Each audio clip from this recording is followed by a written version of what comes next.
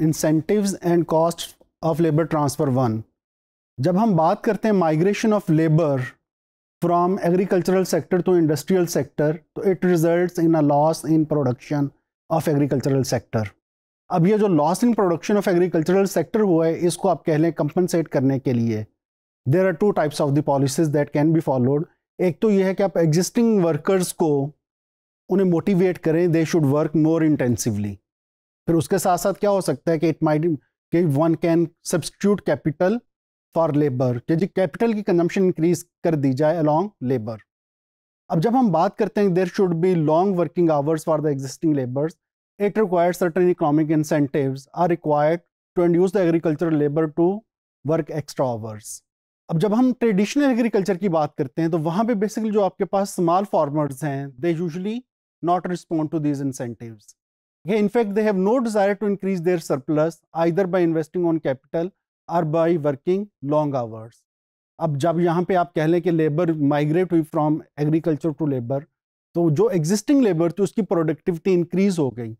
और जब वर्कर्स की प्रोडक्टिविटी इंक्रीज हुई because of that increase in productivity जो आपके वर्कर्स थे या जो आप कह लें जो आपके पास पीजेंट प्रोड्यूसर्स थे जो आपके पास स्मॉल फार्मर्स थे they reduce their number of they reduce their number of hours that they work और जब उन्होंने नंबर ऑफ़ आवर्स रिड्यूस किए तो जो यहाँ पे उसकी सप्लाई कर्व थी वो आप कह लें वो एक बैकवर्ड बेंडिंग सप्लाई कर्व हो गई कि जब इंक्रीज इन प्रोडक्टिविटी हुई there is increase in wage rate and because of that increase in wages it results in a decrease in the supply of the hours that are being being offered by the small farmer.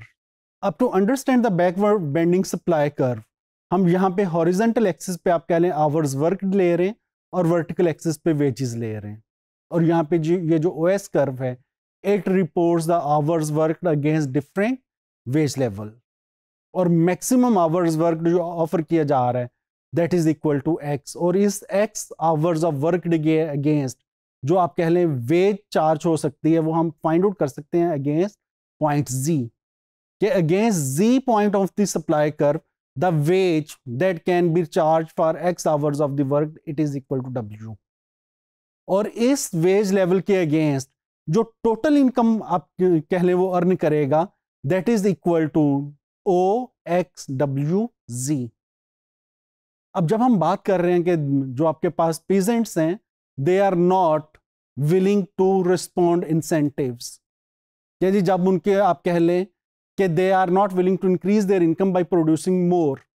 कि जब productivity increase हुई because of that increase in productivity आपका जब wage level increase हुआ, उन्होंने क्या किया? They decided to do less work और जब, और उनके आप कह लें ओवरऑल जो आपके पास इनकम थी they try to keep their income fixed अब यहाँ पे up to O W wage level क्या है? There is positive association between hours work and wage and after OW wage, there is a negative association between hours worked and wage. अब यहाँ पे ये ऐसा भी नहीं होगा कि if there is increase in wage, it always results in decrease in income of the peasants. यहाँ पे क्या हो सकता है कि अगर मैं यूँ बात करूँ कि if total income from work increases, क्या जी यहाँ पे total work from the income increase करेगी if the proportionate fall in hours worked is less than the proportionate increase in the wage rate.